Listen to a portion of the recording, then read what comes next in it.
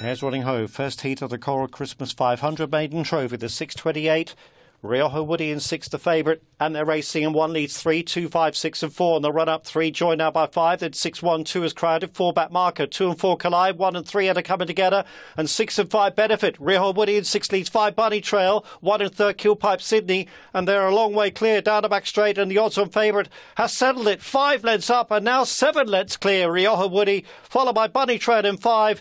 Odds on favourite clear the rag. Eight lengths between them. Six from five, then one. It's six in front. One moves second out of five. Rioja Woody, Killpipe Sydney, Bunny Trail, six, one, and five. Winners off the mark on third run. In the UK, Rioja Woody wins for Richie Reese.